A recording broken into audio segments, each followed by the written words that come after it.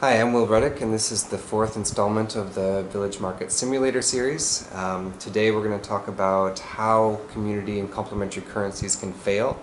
Um, as of now, as of 2016, there's thousands of community and complementary currency systems around the world, and generally they're they're unregulated. And um, in a typical case, um, local businesses or consumers pay a little bit of money to receive a credit uh, in these currencies.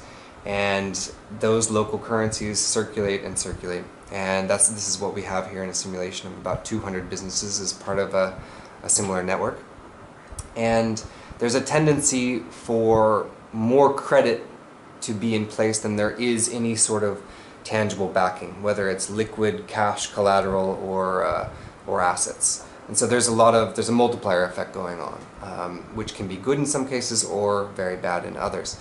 Um, what, uh, what typically happens in a, in a mutual credit scheme or even these, these schemes where the currency is being kind of purchased into existence is that the most uh, popular shops end up being the ones where most of the currency goes to.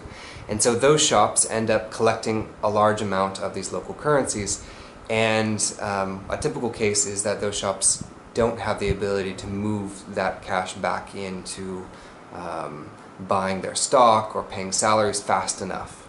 Um, and you know it may take several years for shops to be able to really move enough currency to make it a meaningful part of their business.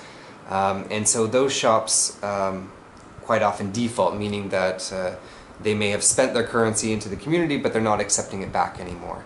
And once they do so, quite often there's a chain reaction. You get sort of a, um, a reputation risk uh, effect where all of the, the businesses around that business or supplying that business start um, defaulting as well and stop, stop accepting the currency.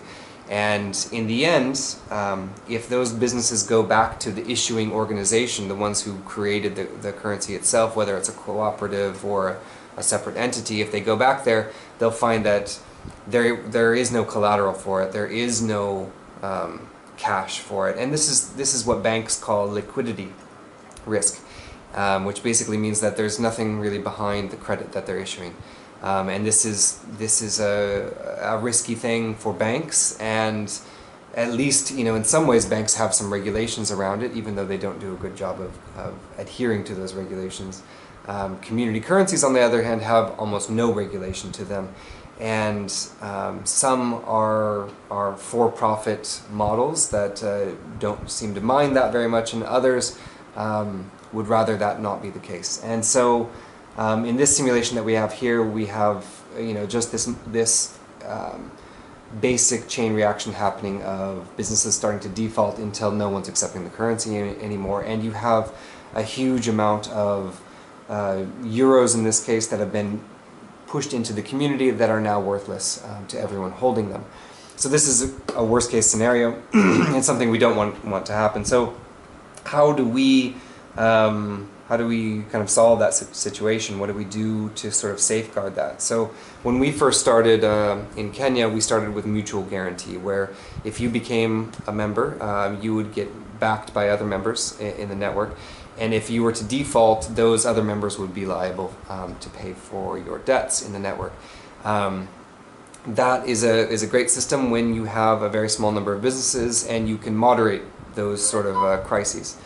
Um, otherwise, it becomes unmanageable faster and faster. Um, so, what we began to do um, was to develop cooperative run businesses in those communities. And those businesses that are owned by the members act as the liquid and asset collateral for the system so that um, we can have a, a, steam release valve, if you will, which we call credit clearing. Um, and if you keep, uh, the idea being that if you keep adding currency to the system uh, too much, it's sort of like a pressure cooker. It needs, it's going to explode, so you have got to release some of that steam. So what we do is we allow schools, for instance, um, if they collect too much currency in a short amount of time and they can't use it, and yet they need um, they need Kenyan shillings, for instance, or, or, euros to to buy something outside the community. Um, the collateral of these cooperative businesses allows that excess currency to be bought off. Um, and are strict rules about how that can be in place. Um, we don't want all, you know, we don't want exchanges to be happening on a one-to-one basis constantly where people get the currency and then exchange it back out. It's done at a level where where it needs to be done. In other words, there, if if a school has a credit level of say 100 euros, and at the end of the month they've collected 150 euros, that excess 50 can be bought using the collateral from the from the network, and so that adds a little bit of a, a pressure release. And at the same time, we're working um, to to fill in those gaps and import replacing businesses so that the anything that needs to be bought within those communities can be. Um, so the the amount of uh, you know euro collateral versus asset collateral is, that needs to be kept on hand is a, is a basic kind of risk analysis, and we have uh, on our board we're lucky to have a risk manager um, that's that has you know helped us design some of our credit policies around that, and uh, that's in some ways how we uh, maintain uh, an even distribution of the currency in these communities and also allow for larger, you know, middle-sized businesses to be secure in joining the networks. They know they're not going to get necessarily stuck with the currencies, and at the same time, it gives us a reason and a you know a, a big push to build more assets in those communities that are collectively owned. Um, so in this in the next simulation that you've seen running here is. Uh, is that situation where you can see some collateral in, in national currency in orange going back into um, some of those businesses. And so there's this flow um, of local currency and uh, national currency where they do, in some cases, mix together. Um, so thanks for your time today. Um, talk to you again at our next installment. Bye.